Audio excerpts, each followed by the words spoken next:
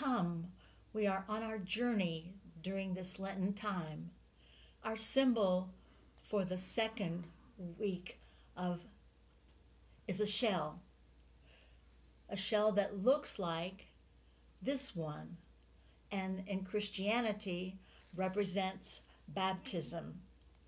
We remember when Jesus was baptized by John the Baptist in the Jordan River.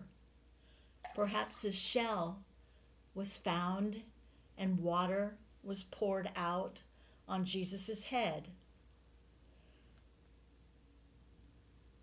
We remember Jesus walking along the shore and calling his first disciples.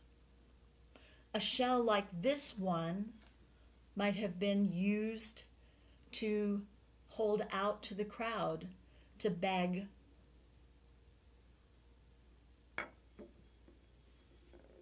The scripture for this second Sunday is from Mark chapter 10, verses 35 through 45. In your passport book, if you would notice, our travel date is February the 28th. Our scripture is Mark 10 35 through 46. Two of the disciples, according to the scripture, James and John, were walking with Jesus, as so the other 10, and they asked Jesus for a special request. They asked to be the ones to sit on his right hand and on his left hand when he came into his glory.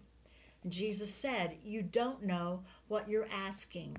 Can you be baptized with the baptism I am baptized with? And they said, Yes, we can.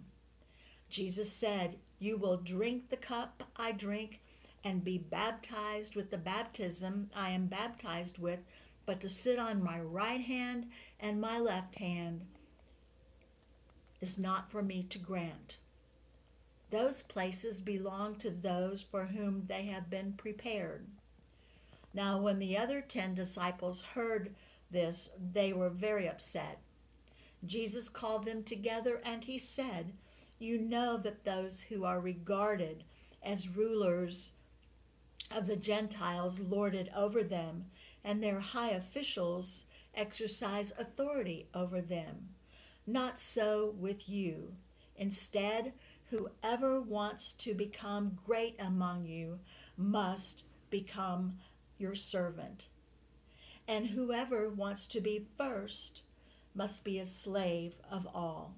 For even the Son of Man did not come to be served, but to serve, and to give his life as a ransom for many.